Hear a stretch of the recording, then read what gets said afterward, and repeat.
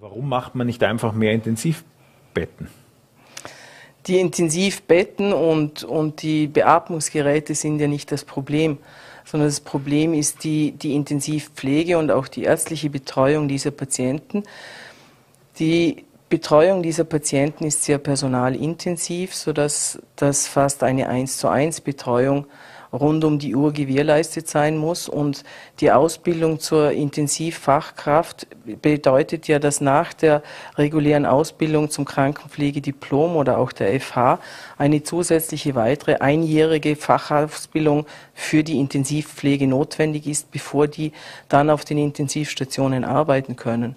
Sodass natürlich das nicht so einfach ist, einfach sagen, okay, wir machen jetzt nochmal drei Betten auf, wir brauchen dann halt nochmal rund um die Uhr auch intensiv geschultes Personal. Und es ist ja nicht so, dass man diesen Patienten, der beatmet ist, an das Gerät dranhängt und dann stellt man das ein und dann lässt man das einmal bis am nächsten Tag der nächste kommt. So funktioniert Intensivmedizin nicht.